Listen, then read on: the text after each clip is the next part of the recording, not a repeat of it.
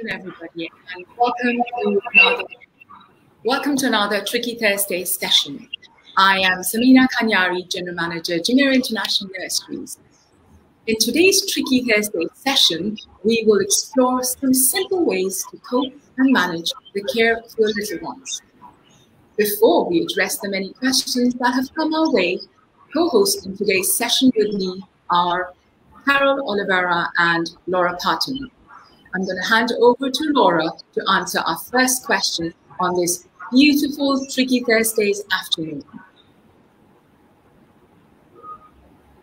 Hi everyone, welcome back to JINS Tricky Thursdays. Today I'm going to answer some of your questions and try and be a help to all the mummies, daddies, aunties, uncles, grandmas, nannies and carers out there. If you have a question, please share with us today and we're going to try and get to all of the questions throughout this tricky Thursday hour. First question is How can I get my child to engage in play by themselves and in play with others? So I'm going to answer this in two parts. And let's first look into what is play? What are the stages of play? So, first comes the solitary play. That's a child playing alone. That's a child being interested in the movements and the actions that they're doing. Then we move on to our parallel play playing alongside another child or alongside an adult, perhaps, but not necessarily having the same goals or targets in mind. Then we move on to onlooker play. That's when your child is interested in the things that other families are doing or the children are doing around them. Then we get on to the stages where your child is started to be interested in the play of others. So we want our child to be interested in the play of others, but we'd also like them to play alone. If you'd like your child to play alone, we're still going to need you, mommy and daddy. We're going to need you as the facilitator. What we need you to do is provide a lot of stimulating and interesting activities or play games in your house or outside in your garden, but they need to be challenging as well as engaging. So find what your child likes, whether it's football, whether it's a fishing game, whether it's a puzzle. Find their interest and passion then place some challenge. Pitch the activity so it's a little bit too difficult.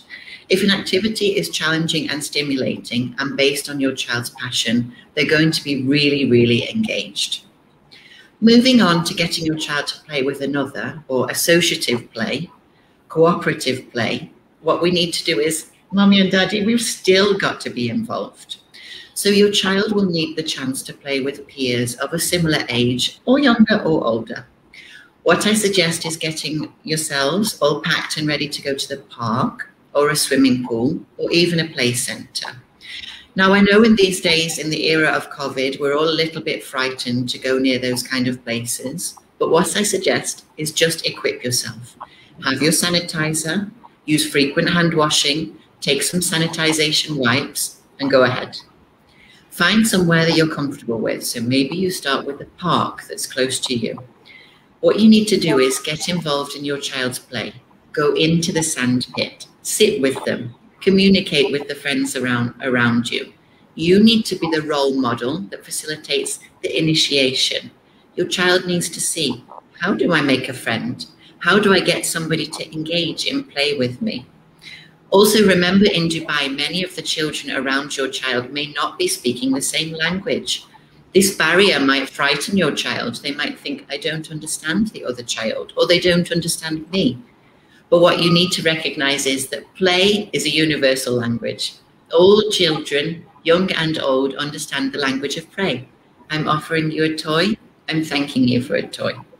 But as the mummy and daddy, get into the um, sand pit or go into the swimming pool. And when you're comfortable and when you've taught your child some of the strategies of early play skills, then step back. I hope I've answered your question today. Today, we're going to go through a series of questions and go between our panelists. Next, we're going to answer with Miss Carol, and her question is How do I help toddlers with separation anxiety when the parents are away? This is a really, really popular question and really common within our nurseries. Miss Carol is going to help us answer that one. Take care. Good afternoon, everyone, and thank you so much for joining us today. So to answer the question that Laura just mentioned, right, how to help toddlers with separation anxiety when parents are away. Um, first of all, I find it very important to reinforce that separation anxiety is a normal part of young children's development. It's absolutely normal and even expected for your young child to feel anxious when saying goodbye to mom or dad, and even for them to cry. Now, having said this, from my experience working at nursery and as a mom of two, there are definitely some key strategies that you can use which tend to be very helpful to use uh, to, to ease your child's separation anxiety altogether. So number one, do make sure that you give your child plenty of opportunities to practice being away from you. Start off with very short periods of time, even five or 10 minutes will do. Try something as simple as allowing your child to play inside um, the cot after they wake up. If they're not crying, don't don't be tempted to rush to them. If they're not crying, let them just be, let them play for a little bit by themselves. Do also give them a chance to spend some time with other members of the family, with close friends, rather than just with one person, like always with mommy or always with daddy. Secondly, when leaving your child at nursery or with a relative or with a nanny at home when you go out, do make sure that you keep your goodbyes short and sweet. This is very important as extending the goodbyes will not help your child and it will not help you either. Do give your child your full attention when saying goodbye and in a simple way, explain to the child what will happen, what to expect. Give them a time frame that they understand. So rather than saying, mommy will be back at three o'clock, tell them mommy will be back after you wake up from your nap, for instance, from your nap, for instance. Um, also, do make sure that you keep your promise and if you tell them that you're going to be back at a particular time, try your very best to um, keep that promise and to back to be back at the time that you've mentioned that you would do, that you would do, right? So this will help build your child's confidence and trust that you will return. Also, don't be tempted to just sneak out of the house or um, sneak out when you come to drop off your child at nursery to avoid crying. This will not help with separation anxiety. It will actually stress the child even more. I know, mommy, I know, daddy, that it, it, it can be quite stressful for us as well to um, watch our child just crying and, and having to leave them um, at nursery or having to leave them with a relative or with the nanny at home. But it's important for you to display confidence, to stay positive. positive. And once you decide, you've decided that you're going to step out of the house or that you're going to leave your child um, at nursery, say your goodbyes, and then don't turn back. Um, if you know for a fact that for whatever reason your little one is very stressed, maybe you're going to have to shorten the time that you stay away from them, but don't be tempted to return immediately. Give them some time to calm down and to start getting used to being away from you. Okay, then once you're back together, do give your child lots of praise and that undivided attention that they need and which they love to, to get. I hope this helps. Now, um, I'm just going to have Samina is going to answer our next question, which is definitely um, a very interesting one as well. Thank you, Carol. Uh, this question has come to us from Jean, and the question is, what goals must be achieved before FS1 for a kid? It is actually a question that every first-time parent asks. Even though I remember being a mom 17 years ago whose child went to the foundation uh, 17 years ago, I, the memories clearly it etched in me. Uh, the nerves, the pressure, even the FS1, te- even being an FS1 teacher back then, um, well equipped with the knowledge of what I needed to do to prep, uh, it was not easy. And I completely understand as a parent the need to do everything right for your child and be prepared. But before I go into the details of what must be achieved prior to the start of FS1, I want to talk a bit about uh, Vygotsky's concept of potential development or the zone of proximal development, often used in classrooms, and how it can help us understand the way children can learn and master skills. The core idea behind Vygotsky's theory is that more knowledgeable person can enhance a child's learning by guiding them through a task slightly above their ability. And um, as a child becomes competent, uh, the ex uh, expert gradually stops helping until the child can perform the skills themselves. So there are two levels to skill development level A, uh, one of the levels is that a child can achieve by themselves through exploring. And the second stage of the level, a second level is that the child can achieve uh, with experience with uh, a parent, teacher, or a pair itself.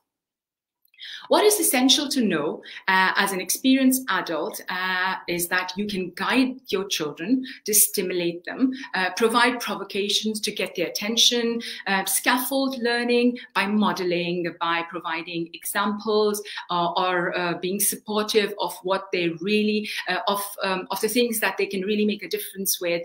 And, um, um, and in doing so, you're, you're putting your child in the zone of proximal development.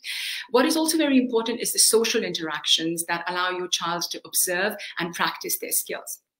Uh, knowing now how children learn and that we need to support them, uh, what is important before your child uh, uh joins FS1 uh, is to get the three-year-old emotionally ready and excited about their new adventure.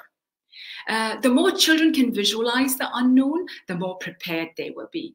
It is, however, important for a child to experience an element of control as a parent, um, you uh, encourage your three-year-old to have a go at the things. Uh, give them opportunities to ask questions and uh, keep on asking questions after, after uh, question after question, question after question. On an average, the child asks about 76 questions in a day. Uh, count how many do you allow your child to ask? Um, practice the morning routines, include getting dressed, um, eating breakfast in time to leave for school. Uh, as parents, uh, we also need to provide opportunities for them to sit at a table uh, with their snack, opening their lunch boxes, getting them to tidy uh, up after themselves. Um, let them have a go at wearing their own clothes, to unbutton, to zip um, the trousers uh, or the uniform if they are going to have one, and allow changing into the for water play or swimming. A mandatory requirement if your child is going to start FS1 in a school is being independent in personal hygiene. The child needs to be fully toilet trained during the day. This is though not a requirement if you're continuing with a nursery or you're joining an FS1 in a nursery. Uh, plan a play date and help them make friends, of course. Be mindful, of course, of the health and safety protocols that we need to follow now. Uh, having uh, friends is hugely beneficial for children. Remember, uh, social interactions allow a child to observe and practice their skills. So let the adventure begin. And I hope uh, um, you are uh, listening and are able to share with us uh, the journey uh, of the journey, how the FS1 is. Um, now I'll pass over to Laura to answer another Tricky Thursday question. Hi, everyone. Okay, our next question is very detailed, so I'm going to read it and share it with you. My son has started now to refuse food even before he tastes it. So we stress on him to taste it, and then he likes it and eats it. But how can we handle this before stressing or forcing? Because when we don't do we don't do this, he doesn't eat. He's so attached to me, the father, and prefers me to do everything for him than his mom. He only allows mommy to help him if I'm not around. This is a really important question, but the first thing that I'm, i can see is I can see lots of success. Daddy, it seems like you're doing an amazing job and you've really got your child to work with you. So what we need to do is identify your mood, your vibe, your actions, your gestures. What is it that's getting your son to cooperate with you? It seems like you're doing a fantastic job and mommy also. What I would ask mommy to do is join you at the mealtime and just observe. Maybe mommy's busy making a cup of tea. Maybe mommy's busy folding the tea towels. As long as she's present very near the meal table. Mommy observe what is daddy specifically doing. Is there something that he's doing that makes the child more comfortable? Perhaps he's not in a hurry. Perhaps he's not thinking about the next thing that we've got to do. Maybe. Try and observe the skills and strategies that daddy's using and try and model them in other areas of the day. Then, when your child is comfortable, try and help out with your child also. It might be that daddy has to take a very important phone call just at the time that the child is eating, and mommy needs to swoop in and support. What I would say is celebrate your meal times. Make them a really important day with the family. Now, in our busy lives, I appreciate that it's not always possible to get everybody sitting at the same time. Maybe your child's meal time is slightly earlier. Maybe mommy or daddy arrive home late. But as frequently as possible, try to eat together. It's that supportive, conducive environment that your child will feel relaxed and able to eat.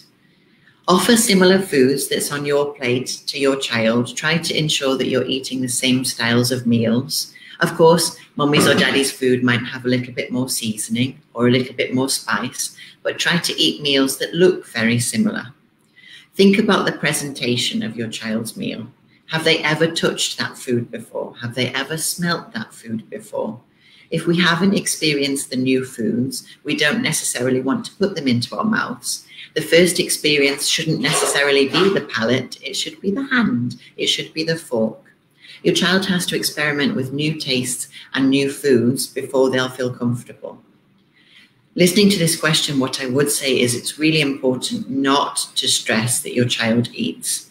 I can understand as a parent that you're worried that your child might be hungry or be lacking nutrition, but something that you might want to think about is your child's stomach is the size of their fist, not yours.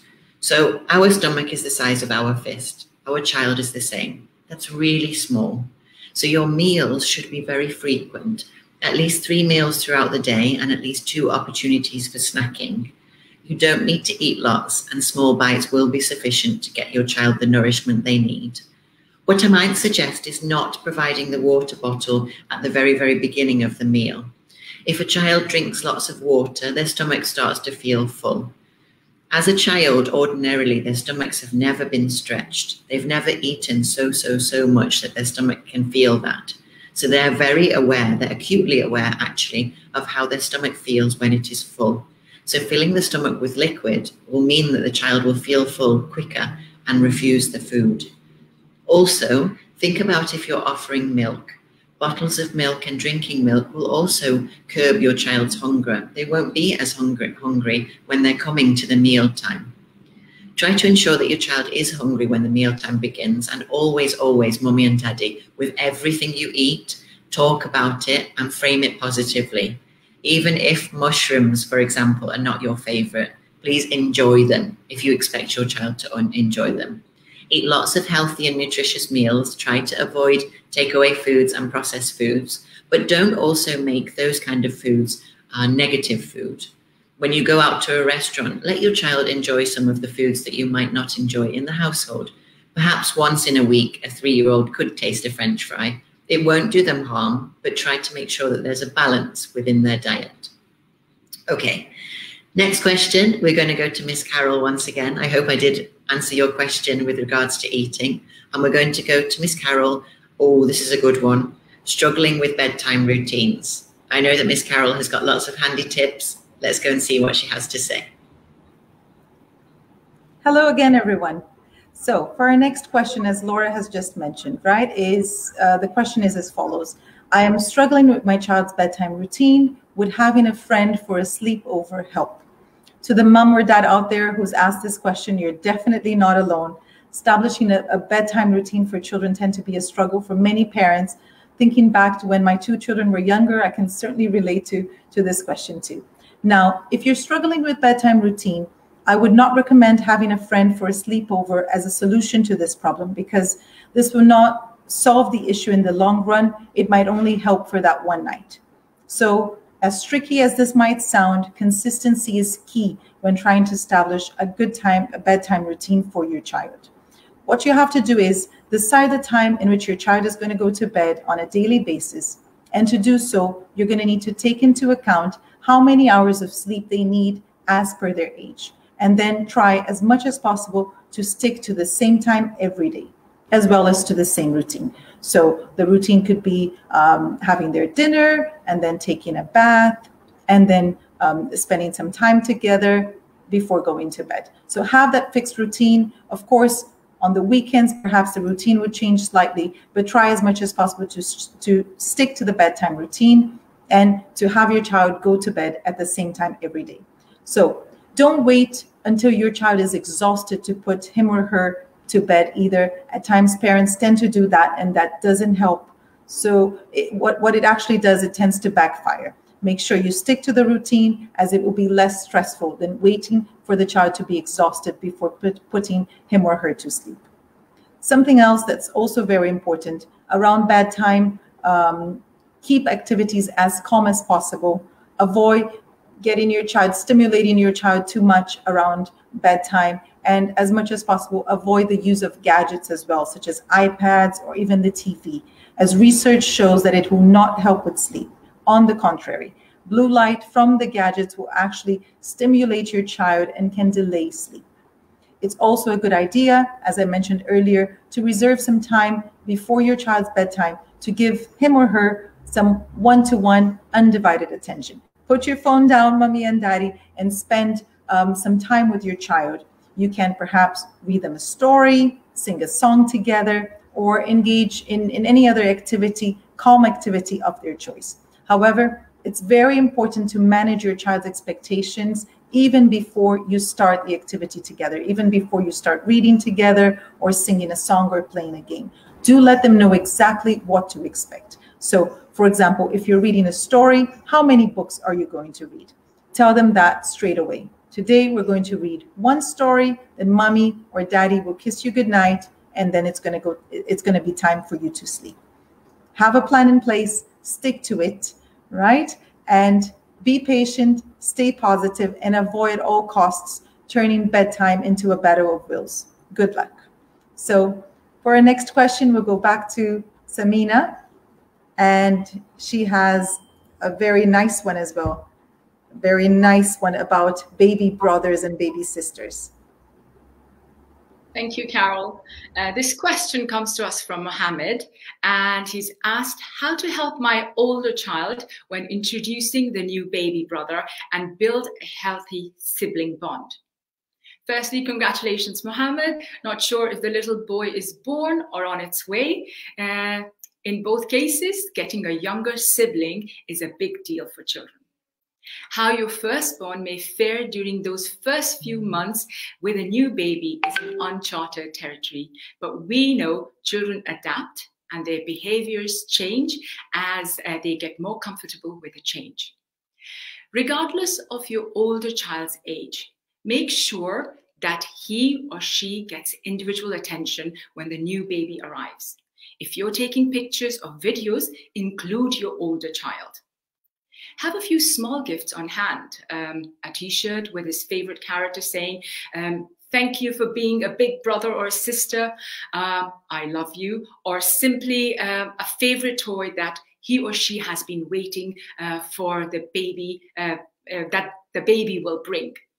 Um, research has shown also that uh, when siblings are first introduced to the feeling of big love when a mum uh, snuggles up with both the infant and the older child on her lap. These feelings of love get transferred towards each other. Isn't that amazing? Uh, if you get um, um, if you can get your older one laughing, it's all the more better because the oxytocin is released, which helps them bond even further.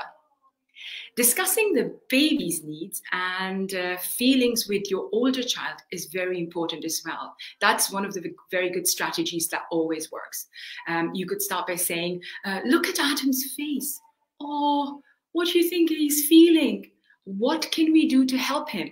This especially works in reverse talk to the new baby um, in front of uh, the older child about his older brother's needs and emotions.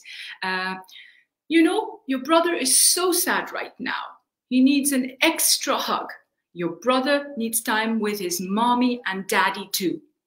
Does the baby understand that? Probably no, but over a time he will.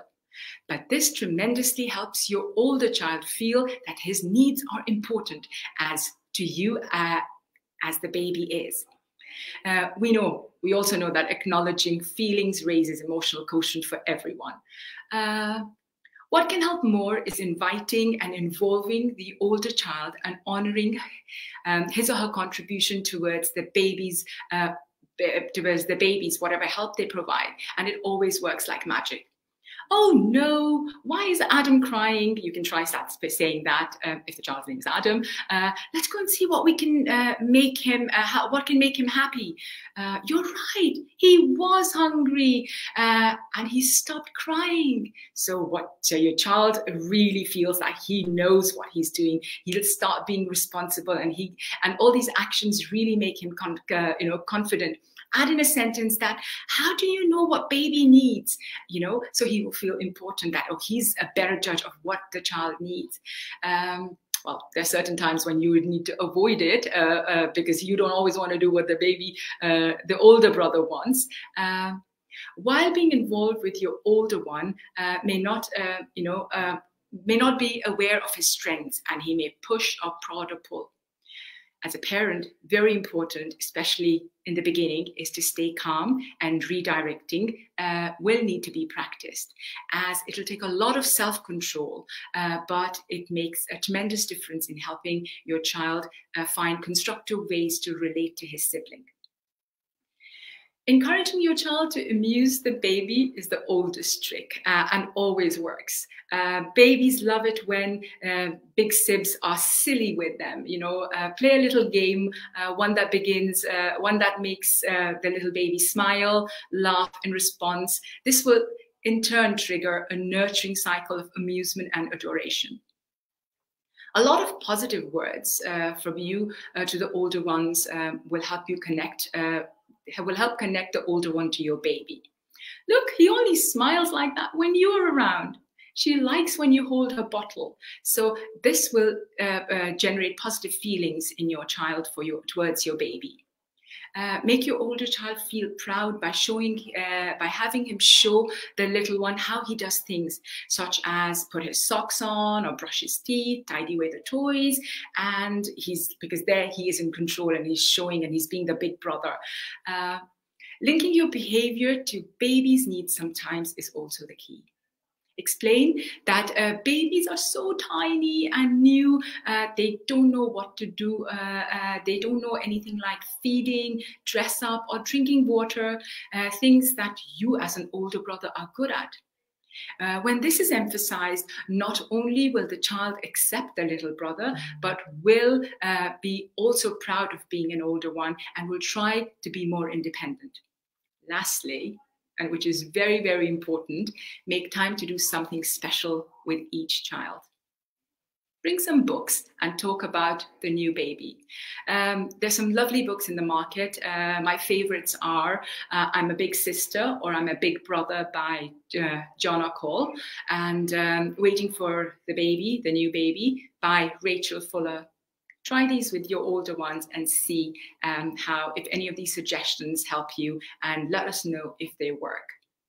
For our next question, I will ask Laura to answer, and it's a very, very interesting question.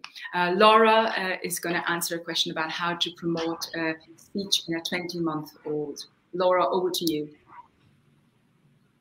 Thank you very much. And I can see we're getting lots of shout outs and feedback while we're talking. I'd just like to say a shout out to Anuksha. Thank you very much for listening. And Mohammed, we really appreciate your support. It's great to hear you tuning in. Samina, it was really lovely to hear about the older sibling welcoming in the new baby. It makes us all feel really warm and bubbly inside. Thank you for sharing your insights. So my question is about how to get a child talking, how to enrich language. How do I promote the speech in my 20 month old? What I'd say is the same strategy would work from a baby being born. So what you need to do is you need to talk the day. Okay, so what I'm saying to many of you parents out there, and I'm sure you can understand what I mean, is talk the day, phones away. What I need you to do is be very, very present in your child's day. Of course, sometimes you need to step away to do your work. Sometimes you have to answer a phone call. But I need you to talk as much as possible. Talk about everything that you're doing throughout the day, even from when baby is newborn. Talk about the fact that you're making the bottle. Talk about the feelings you have towards the child. Give as much vocabulary towards your child as possible. Your children need to hear as many words as they can in their developing years. What I mean is that when a child hears a word, Later in life, they're going to say the word. When they've said the word, later in life, they're going to write the word. But if they don't hear it, this cycle cannot begin. Now, we're definitely not talking about writing with a 20 month old, but what I need you to do is make your home a very language rich environment. Try to speak very clearly. Try to speak in, in adult language. Try to not use baby language. We all do it and we all say those coo sounds and enhanced words. We've got doggies instead of dogs. It's okay, but try to use adult language as much as possible because what we're teaching your child is is that you have the expectation that they will say those words, that they will use those words. Those words are for them. So talk your day from dishes to laundry to games to care to comfort to nappy change. Mummy's changing your nappy now. Mummy's using the wipes. Mummy's spraying a little water. Ooh, it feels cold. Mummy's using the lotion. Your children will begin to be familiarized with the vocabulary of things that are familiar to them. As you branch out into different conversations, there will be language that's new. One day you will need to visit the dentist, so you'll need to talk about going in the car and the journey and fastening the seatbelt and meeting the lady at the reception and opening our mouth wide. What we need to do is make sure that we give our children lots of opportunities to discuss and talk. And what I would say is celebrate your home language. So if, for example, mummy speaks Greek, and daddy might speak Spanish, speak those languages. If you would like your child to learn English, then nursery or an educational setting is the best place for them to do so. Learning your home language is that point of connection between you and your child, and it will give richness to your family. We want our children to learn our home languages and continue, continue with tradition and with heritage but we also want them to learn additional languages so their exciting journey in our world is rich, inviting, and also they have the confidence to speak to others around them.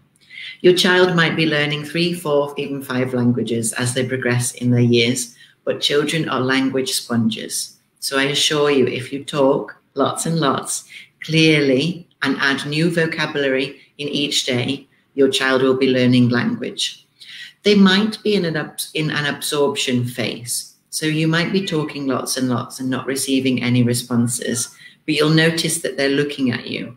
They're watching your mouth, they're watching your lips, they're watching your facial expression.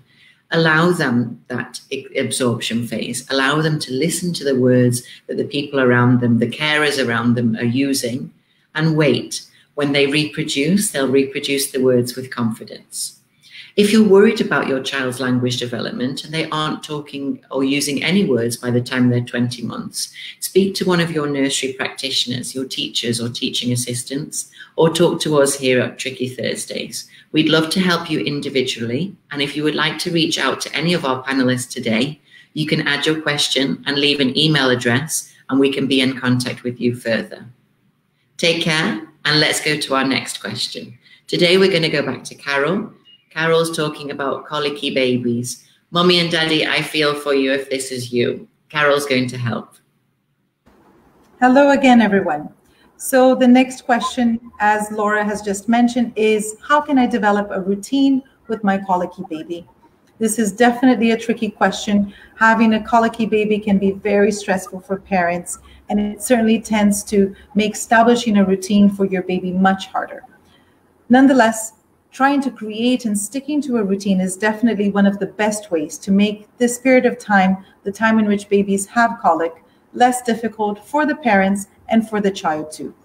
Routines can help the parents better identify the baby's needs and what he or she is trying to tell you um, when they're crying, rather than always assuming that the baby is colicky.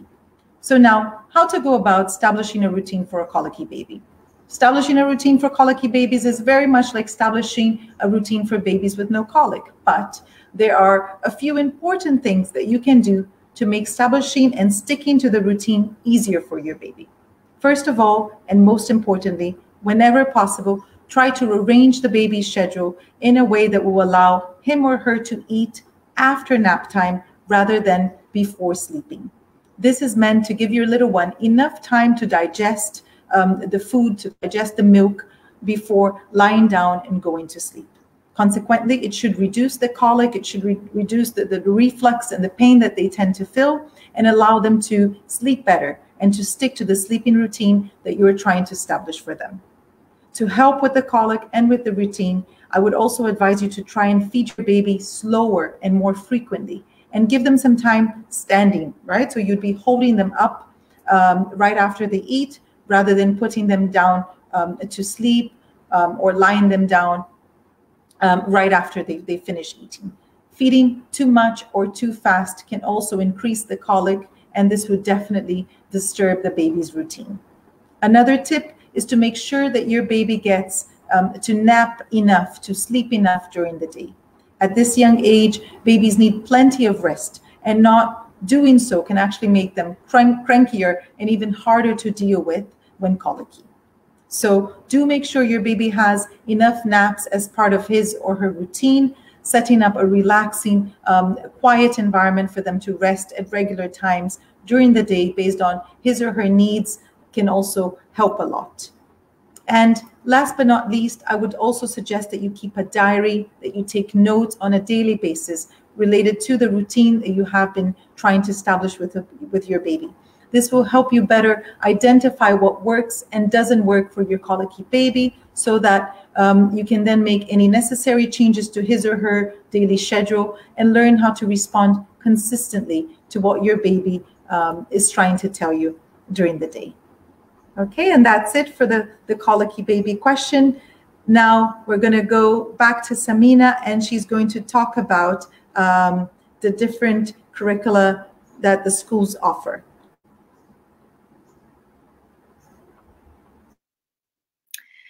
Thank you, Carol. Uh, this question is so important because uh, the choices are mind boggling for parents.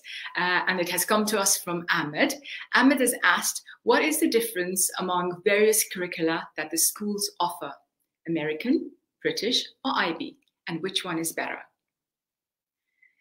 UAE is a melting pot of what best education has to offer. Statistics for UAE shows that there are 55 curriculums offered in various schools. The major ones are British, American, IB, and Indian. If these four don't feel right for you, look deeper. There are plenty options available.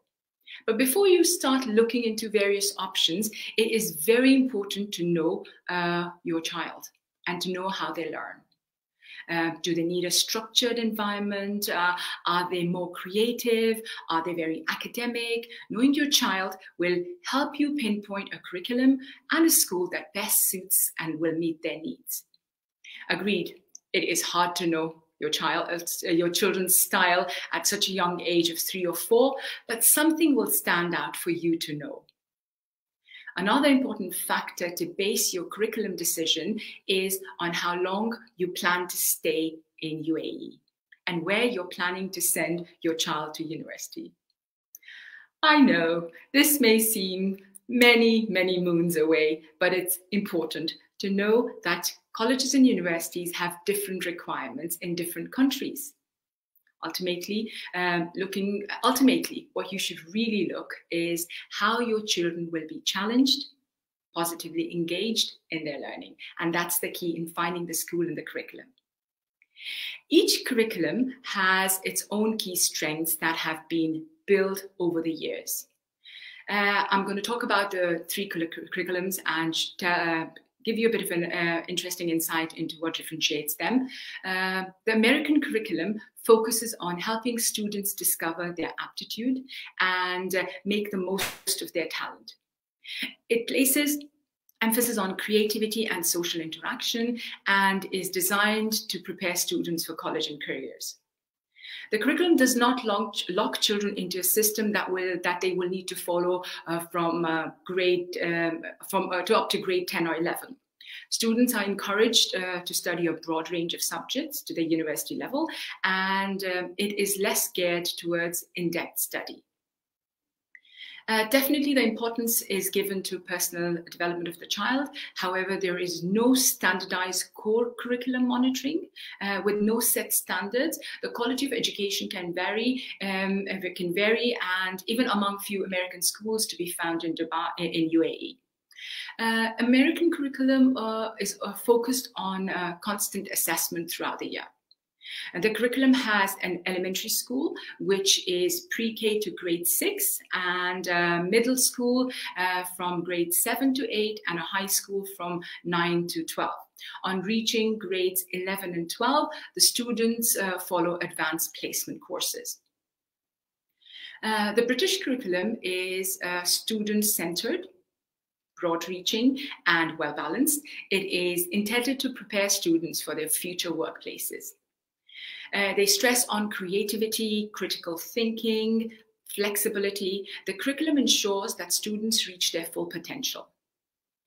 Students are encouraged to think for themselves, for opinions, uh, form opinions, um, relate to others, and gain experiences in taking responsibility for their own actions and decision. Uh, the British curriculum is divided into number of year blocks, uh, which are called stages, key stages, um, as well as uh, early years foundation stage, which covers preschoolers, nursery and reception years, three to five years is part of that. The key stage one is uh, for five to seven year olds.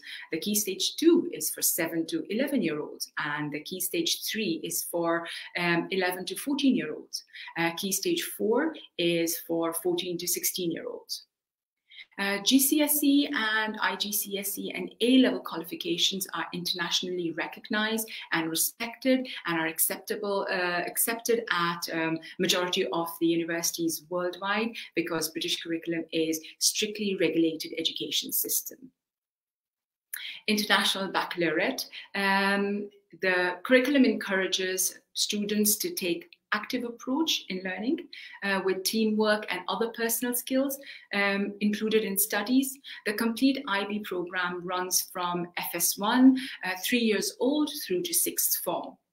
Um, it's, it's divided into three parts. The primary year program, which is also called PYP, is from 3 to 11 years of age and offers an integrated curriculum, enabling children to learn through guided exploration and structured inquiry. Um, the middle years program uh, is called MYP. and it is from 11 years to 16 years.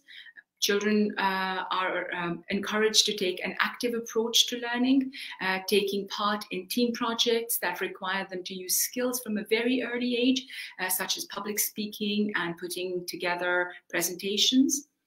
A diploma program called the DP is from 16 to 18 years, uh, and it focuses on developing potential skills that students will require for life after school rather than just academic achievements. However, students uh, are um, uh, have to prove that they can keep the workload. Uh, apparently, the workload in the DP program uh, is uh, quite high. Uh, while some features are unique to the individual curricula, it is important um, to know and um, that the schools following any curriculum uh, in UAE have to align themselves with the requirement of national expectations assigned by the local governing bodies such as KHDA, ADEC or SPEA. Um, more schools nowadays have uh, a renewed focus on aspects such as tolerance, well-being and happiness. Um, so they all aim to uh, ensure that the development of an individual is well-rounded. Uh, therefore, I would say it would be safe to say that all although schools follow a particular curriculum, all the schools in UAE uh, have now newfound common ground uh, in that to ensure the holistic development of a child, thereby preparing them for life. So the best thing to do is to tour the schools with different curricula and talk to the registrar or a member of their senior leadership team. Uh, I hope, Ahmed, this helps you understand the three curriculums. Uh, but like I said before, the options are innumerable. 55 different curriculums are being offered in UAE. Uh, I hope you find the right one that suits your child's needs. Uh, and I have answered your question. The next question uh, I would like to ask Laura, oh, this is a very interesting one to answer. It says um, it's about uh, the battlefields. I mean, who's the parent here and who's the child? And I will let Laura ask, answer that part of the question. Laura, over to you. Thank you, Samina. Wow, 55 different curricula on, on offer for you. And perhaps your child is only two or three years old. That's a lot to think about. Thank you, Samina, for your insight and wisdom. We really appreciate you sharing with us. And because of your experiences with your children, you are the most amazing person to answer for us. Okay, so my next question says, my child simply does not listen. It's always a battle of wills. What can I do to get him to follow what I have to say? It always ends in a tantrum. Okay, the first thing I'd like to say is listening and following are two different things. So we always want our child to listen, and we often say they're not listening. But many times, numerous times, they are listening. Listening and doing are completely different actions. So, what I'd like you to do is put yourself into the child's shoes first. Listen. The child's got to listen to what the adult is saying. Then they've got to process what the adult is saying. Many of the words they're familiar with, but some they might not be familiar with. Once they've processed, they need to internalize what is their action going to be. Now, they might not rationalize any of it, your children are so little, it's going to take them a long time to learn rationalization. What they'll do is they will likely draw from previous experiences.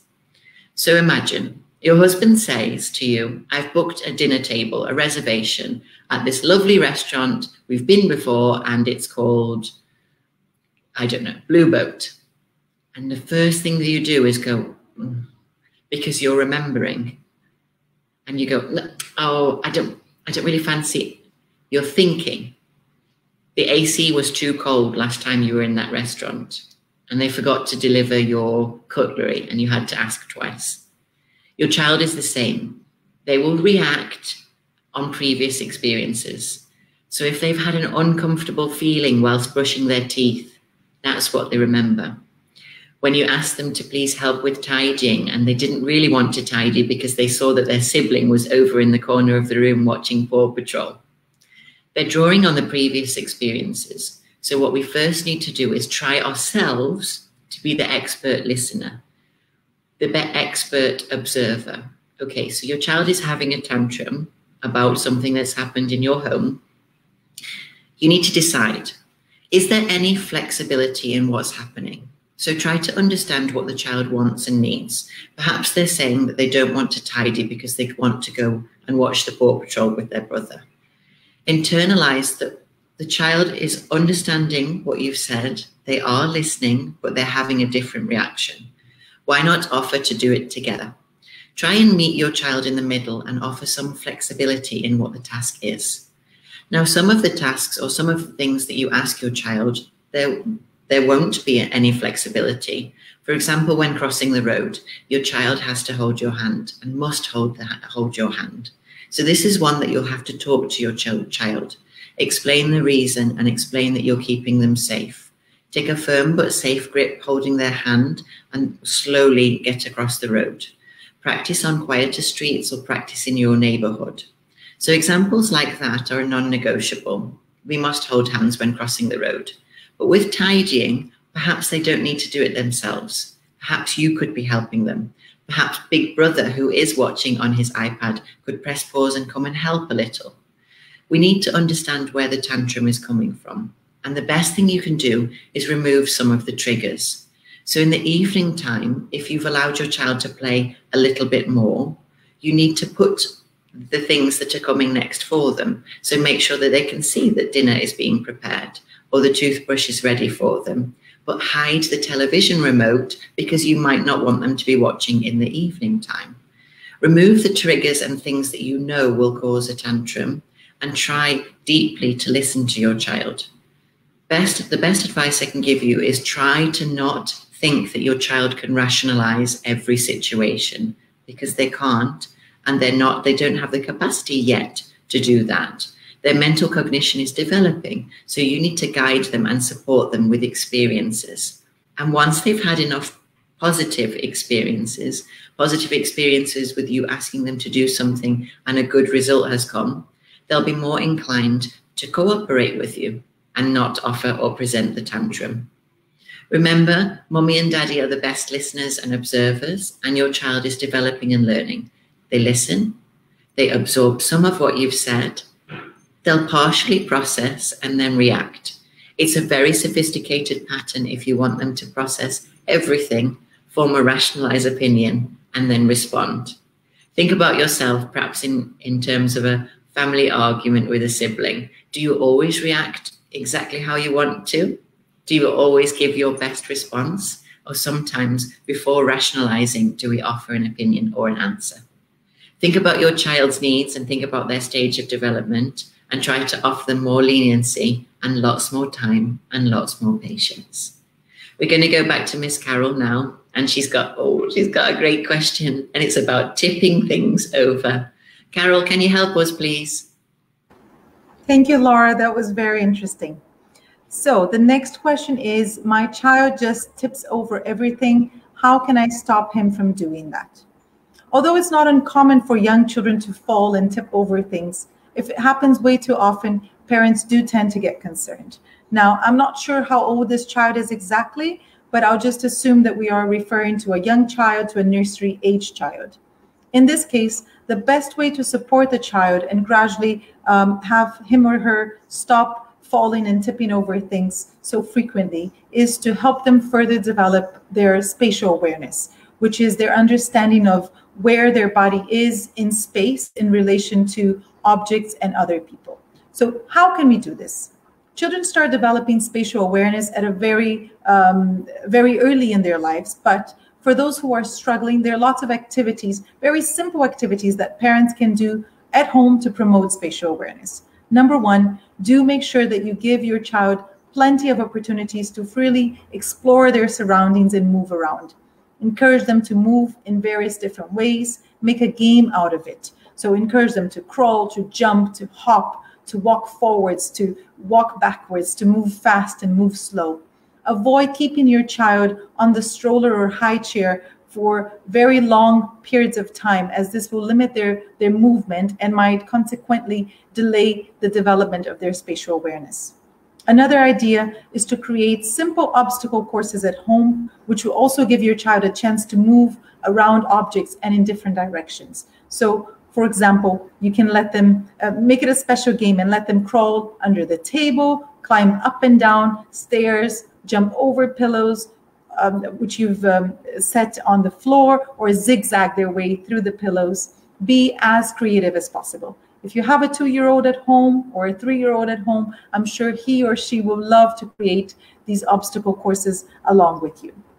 Fun activities, which can also be done as a family, such as playing tag, playing hide and seek, throwing and catching balls, singing action songs, um, very popular action songs like Head, Shoulders, Knees, and Toes, The Wheels on the Bus are also great to develop spatial awareness. And you can also look at introducing calmer activities like stacking blocks, making puzzles, and playing with blocks. And because they can also help develop spatial awareness as children develop a better understanding of how things fit together and are and become overall more aware of space. I hope this helps. Um, we're going to go back to Samina now, who is going to talk about what is the right age to introduce books and start reading with a child. Carol, wow, a lot of trips, uh, uh, tips to help uh, children not to everything. Thank you for that. Uh, and I'm sure those uh, that advice is going to be very helpful and some very practical advice in there and some uh, lovely activities that you and everyone else can do at home with their children. Uh, my question comes from Monica, and she has asked, What is the right age to introduce books uh, and start reading with a child? Mm. Uh, well, this is a very interesting one, and there's lots to say about this one. Um, well, in my opinion, it's never too early to start enjoying uh, books with your little one. Uh, when you read to children, they get, they're getting full attention. And that's what they really, really love and want. So reading at a younger age is a great way to immerse children in sound and rhythm of speech, which is crucial for, your, for their language development later. The brain is not uh, naturally hardwired to read in the way it is a wire to speak or listen. Uh, being able to read um, is a process that begins with infants playing with or even chewing on their uh, you know board books or being uh, read to by a parent and continues through the uh, uh, independent reading stage into school or um, earlier in FS1, uh, where children are need to be taught and how to make sense of all the squiggles on the page. I'm going to talk about how reading uh, be supported from birth to three at different areas and, and different age groups. Uh, uh, beginning with birth to six months, uh, the infant's vision is still developing. Um, it's best to choose books uh, with little or uh, no text at all, or, and big and contrasting pictures interactive books with puppets, um, mirrors, and beeples is highly, highly recommended. Um, being read helps children see and hear what is around at that age and respond in kind. You always see a child will respond with a smile or, you know, with wide open eyes and listening to you intently. Uh, from 7 to 12 months, uh, babies may begin to grasp some of the words that are being read to them, like mommy, milk, bottle, cat. And halfway to their first birthday, it's best to read books with one object or items uh, the baby likes or is familiar with, as this helps the baby realize uh, that illustrations, that the pictures that they see on the books stand for real things. The best practice um, you know, uh, as a uh, as a mom or a dad, uh, to read uh, is to use expressions, gestures, reading with your face, making those interesting faces, hands, and voices. This will help your child interact sooner or later babble back to you in return. And that is absolutely an amazing pleasure to see when you're interacting a conversation with a child, when you're reading to them. This conversation really helps them learn to take turns and teaches them about focusing on the same thing as someone else.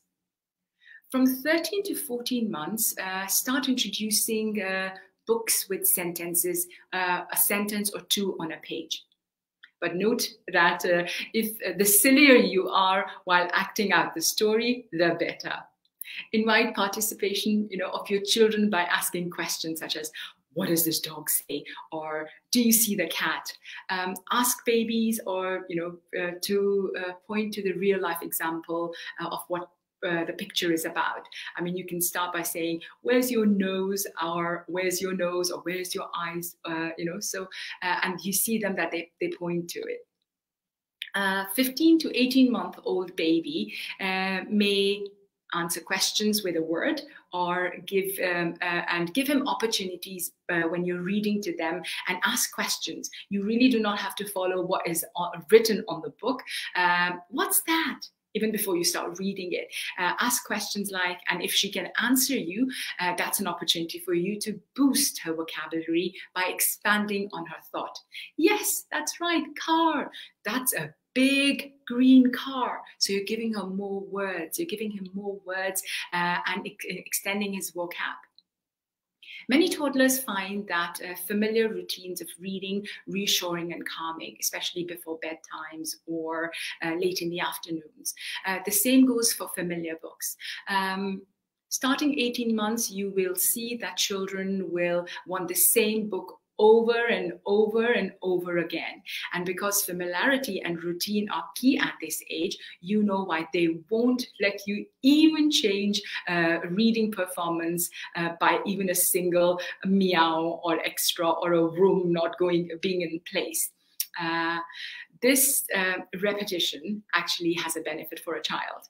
It helps them make sense and then remember new words. So next time your toddler brings the book 100th time, you know how to react. The 24 to 36 month old children um, know the words have meanings and, uh, and are used for different reasons. They're well aware of uh, their vocabulary is quite extended. Uh, start, uh, they start to point and name common pictures in the books. Children at this age are enjoy rhyming books and have uh, favorite books that you can read over and over again to them. Most of the three-year-olds uh, would have developed a uh, have developed uh, listening skills and would repeat phrases um, of the words that are in the book. Uh, the children at this age also like to sit alone and look at books. So if your toddler is not coming to you with the books, it's fine because that's they're trying to explore books on their own. Uh, they know uh, that uh, you know to turn page, and every page has some squiggles, has some pictures that mean something, uh, and they would be just you know trying to pretend to copy an adult and read themselves know they know that uh, the book has a front and a back and to hold the book the right side. Uh, and slowly these skills will develop as you expose your children to books. Um, give them different kinds of books with soft back hard back um, board books uh, uh, big books small books tiny miniature books. Give them an opportunity to explore different kinds of materials in books I would say reading is one addiction that I believe we need to encourage well before baby's first birthday. Uh, I hope I've answered you uh, and helped you uh, to understand how you can help um, your child, uh, whatever age they are, to help them read and explore different uh, books. Uh, our next question is for Laura, and it is a very interesting one. It is about introducing uh, a um, it is uh, a mom is uh, wanting to make a home a safe place and i think laura is the best mom to ask this question because i know she's got a little one and i'm sure she's uh, foolproofed her space at home over to you laura Thank you, Samina. You're right. So when the baby came or when the baby was coming, it was time for me to think seriously. My husband and I were alone in the house and we didn't have to think about baby gates and we didn't really think about first aid kits. But when the baby comes or when the baby is coming, it's time to make sure you're prepared. So lots of tips I could give you, and I'm going to list a few of them. Perhaps you'd like to take a pen and paper. The first thing is, now it might sound straightforward, please know where your fire extinguishers are. Where are they in your house? Where is the fire blanket for your kitchen? How is a fire blanket used? Which of the fire extinguishers should we use on an electrical fire or on a fire in your kitchen? Knowing that and knowing how to use a fire extinguisher will help you act quickly in a small emergency situation. I'm not asking you to put out large fires. In those instances, of course, you should evacuate immediately. But being able to protect yourself and act quickly and rationally will support you and your child or your baby, and in fact, your entire family. The next thing is you need a full first aid kit. You can look on the internet and Google and research what should be inside there, but basic items would be items such as an antiseptic cream, gauze, swadding. You might find inside there scissors. You might find inside there creams for burns, creams for insect bites, band-aids, different, the different types of bandages. Lots of things would be inside there, but best to do your research. Saying that, you also might want to enroll yourself into a first aid course. And if you have a nanny at home, you might both want to look at doing a first aid course. It's something really valuable that before baby is born, yourself, your husband, your, your family around you know how to react in an emergency situation. Many of those first aid companies also sell the first aid kits. They would give you exactly what should be inside. Please buy a full first aid kit from a reputable source. Your pharmacy can provide you one. You would need the medium sized one. So they'll give you three to four options, but a medium sized one would be sufficient for a small home. Next thing I would like you to think about is an ice pack. Where should the ice pack be? It shouldn't be inside the first aid kit. It should be ready inside the freezer. Now, this might seem very obvious, but it's something that we forget because as adults, before a baby enters our home, we don't usually use the ice pack. We might bump ourselves, say ouch, and then move on. So what we need to think about is that we're reacting to an emergency or an accident. And when it is our baby or our child, our emotions sometimes try to get the better of us. So let's put that ice pack where it should be, and perhaps we might want to have two. Very often you can find heating and cooling packs as the same thing. So you might want to keep one for warming in case perhaps yourself or your husband need it for back trouble or a muscular pain, but the ice pack should be ready inside your freezer, ready to use. Always remember to place a small cloth, for example, a tea towel or some linen between the child's skin or your skin and the ice pack.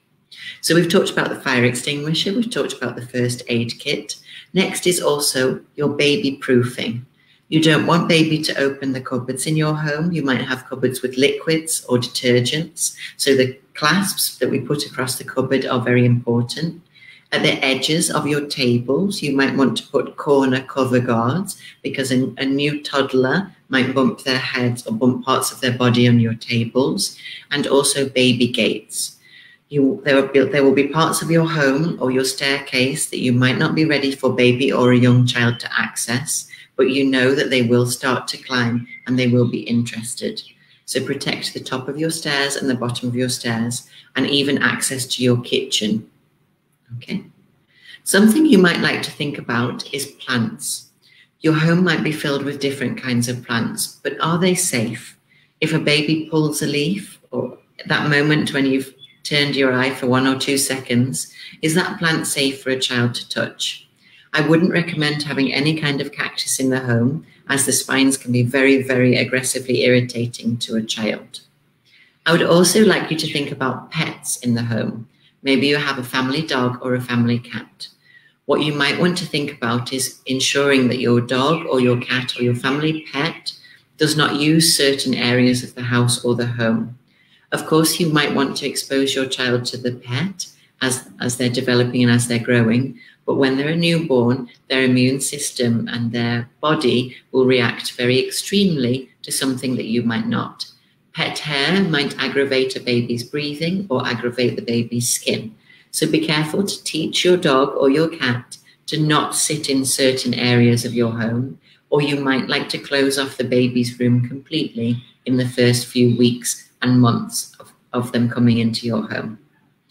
You've got to think about all of these things with a new sense of a new sense of understanding, and also in terms of the fact that you might be panicking. So it might be yourself or it might be your nanny.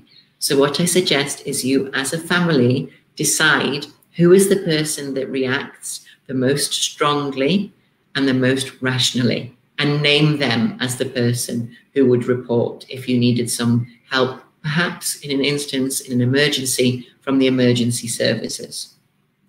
Think about that these situations will be new and they will trouble you and they might feel scary. So one person has to be the strong person to react sensibly. What I suggest is have your emergency numbers listed somewhere in large font that you can see and use. So put the fire brigade, put the police, put the ambulance, put the mummy's number, daddy's number. In an instance, for example, when your nanny is looking after baby and something happens and they're worried and they would like your response, they need to access your mobile number quickly. And remember, in those situations, we often do feel panicked. So we need to have a strong list and item of protocol to follow.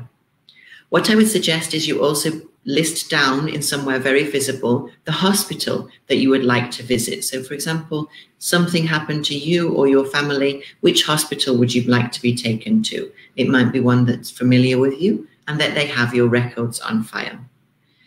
I'd just like to make you feel comfortable. And in this message, mummies and daddies, I don't want you to feel scared. What I want you to feel is empowered. That if something happened to you or your family, you could react promptly and you could react responsibly. So you wouldn't worry, you would do the right thing to help keep you and your family safe. Think about all these things and ways of making your family home safe. And if you have any questions, you can always reach out to us. You can call our nurseries, you can send us an email, or you can add your question to be answered in the next Tricky Thursdays. Let's go across to Miss Carol, and she has a really good question, and it's about attachment and security for, for the child. Let's find out what she has to say. Over to you, Carol. Thank you, Laura. Hello again, everyone. So I'm just going to read this question. It's um, a bit long, so I'll just read through it. So it says, My 2.5 year old girl is extremely attached to me. It's been more than just a phase now. She can't do anything without me. I tried explaining to her each time I leave the room and praise her after I come back, give her, undiv- give her undivided dad and her time um, yet if she she always makes sure to check if i'm around. I'm nine months pregnant so just trying to find any possible solution or method i can apply. Dear janina thank you so much for your question which once again refers to the separation anxiety which i had talked about earlier so as mentioned, um, separation anxiety tends to be very common at young age. We see this all the time when children join nursery school, and it's certainly a normal part of young children's development. However, especially since last year, um, due of course to the COVID-19 pandemic, many children started spending even more time at home with their parents, and consequently, some have become even more attached to their main carers, um, not wanting to be away from them, not even for a minute, and at times even um, be becoming a bit scared of other people. So in such cases, when you can clearly see that the child is extremely scared of others or extremely attached to mom or dad, my suggestion might sound really obvious, but it's definitely the best way to go about. Be patient. Continue to give your child plenty of opportunities to be with others, like with dad, even if it's for very short periods of time while you take a, a very long and relaxing shower, for instance, and then gradually extend the time that they spend together. As children learn through play, and we talk about this all the time at JINS, you can even turn this experience of being away um, from mommy into a game to make it less scary um, and less stressful for, for your little girl. So, for instance, you can play hide and seek with her and another member of the family. So, mom would hide and nanny, grandma, or dad um, would have to look for mommy. And at the end, once you she finds you, then you can give her that big hug. The famous peekaboo game, which we tend to play with even with very young babies, can also gradually start preparing uh, a young child for having mom and dad out of sight. Role playing can also be very helpful in supporting children and helping them make sense of um, certain situations and coping with being away from mom. So play with your child, take time to play with them. And while playing, create scenarios that involve um, the doll being away from mommy and or the stuffed uh, the, the, the stuffed toy being away from mommy and do make sure that at the end mom and doll stuffed toy and mummy stuffed toy uh, toy are always reunited at the end lastly there are also some very nice storybooks on this topic which you can read to your child that might help um, might help her start coping a, a little bit better with being away from you. My two favorite ones are The Kissing Hand by Audrey Penn and The Invisible String by Patrice Karst. And last but not least, congratulations on the on the baby. And as Samina mentioned before when talking about having a new baby in the family, do make sure that even after the, the new baby is here, you do give um, your daughter, your 2.5 year old, lots of undivided attention as well. Thank you so much. And we will now have Samina answer one last question. Thank you, Carol. Uh, that was a lot of lovely advice for um, separation anxiety. Yes, it is a phase also in children, and surely, uh, as a mom, please be reassured that it will be over. Uh, my last question, and in fact, our last question on this Tricky Thursday, is from Suzanne, and she's asked My two year old does not like to touch anything messy or get his fingers dirty. He gets it from me. How can I change this? Oh, Suzanne, thank you for being very honest here. And uh, well, let me see, how can I help you? And uh, let's talk about uh, toddlers. And uh, I'm sure as a mom, you agree, you would agree that toddlers often mimic what their parents are doing. So if you're always tidying up after your toddler or pulling sad faces at a mess while um, uh, praising your child when he cleans up after himself, he's more likely to model the behavior himself. And which is not bad. Uh, however, how can you get him to touch messy things? Uh, it might be helpful to first take a look at how toddlers learn about the world around them within the first few years of life. Uh, toddlers are naturally driven by their tactile senses and explore the world, world around them with their sense of touch. They touch, they feel, and explore objects within their reach. And this may help them understand more about their environment. Um, the fingertips, the lips, the tongue just so happens to house more sensory receptors for your toddler than any other region in the entire body. If your child is avoiding messy play, you will need to be sensitive about it and take it slowly uh, to give him a chance to gently explore sensations that he currently finds uncomfortable. Uh, you need to show your toddler that messy, sticky things can be fun playing with uh, when you play with them yourself. I know you don't want that, but you would have to give it a go. You would have to try. Uh, this is really important as toddlers gauge uh, the threat by how you respond as their parent. It's called social referencing, and they do it for every single thing. Uh, they get their cues from you. Uh, when you are showing your toddler how safe and fun messy play can be, be gentle and expose uh, him to relatively controlled experiences such as uh, painting with a sponge or uh, rather than painting with the fingers because it can be overwhelming if he's never used his fingers before. At least then there's a uh, there's a medium between his hand and the paper or uh, the texture where which he's using uh, or, uh, or um, let him play with bubbles in the bath rather than slime straight away. Uh, over the weeks and months, uh, your toddler would gently learn that messy play is safe and uh, you know get used to getting his hands dirty. That doesn't mean that he will become uh, that messy play will become his favorite activity, uh, as some toddlers like it more and others uh, like to, you know, uh, help themselves or take a little time to explore textures and, uh, and do it at their own speed and um, respect that. Um, uh, also, what you need to do is show your toddler that being messy is okay, and being messy uh, is okay in everything that you do. Um, it is very crucial as part of play and child development. A child who's never been exposed to messy textures in nature can become overly sensitive to tactile information uh, and I'm sure you are well aware that the children, these children will cry or scream if they get their hands or faces messy or will refuse to talk in uh, uh, or refuse or refuse to talk or um, uh, or become upset. And if this experience is given to them, or even um, when you're walking in the uh, garden or a park, um, they would not walk barefoot with a uh, with sand and grass, being worried that it'll get onto their feet. Also, some children have the ability to explore more, and their reactions to tactile sensation are just a reflection of their personality.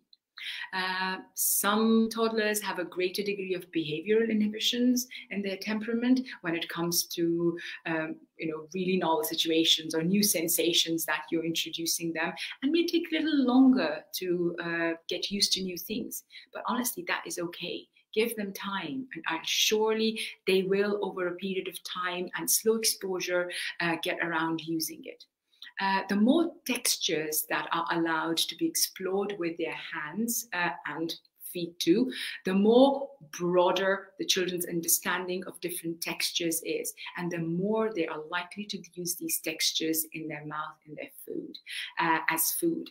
Um, so you can also help name different textures to your children. You could say mushy, crunchy, lumpy. Uh, keep in mind, the exposure should be gradual and tailored to your child's response. And I'm sure once you get your hands dirty, your child uh, will follow suit. And I hope I've answered your question and I've provided you a uh, few tips and tricks to help overcome uh, this little obstacle in your child's journey uh, in life. This, with this, we have come to our end of our Tricky Thursday session. Uh, on behalf of Jumeirah International Nurseries, I would like to thank you for attending our second Tricky Thursday session and for sending us all your questions. Uh, we hope that this session has been helpful and we have answered your questions and provided you the understanding needed to support your beautiful children.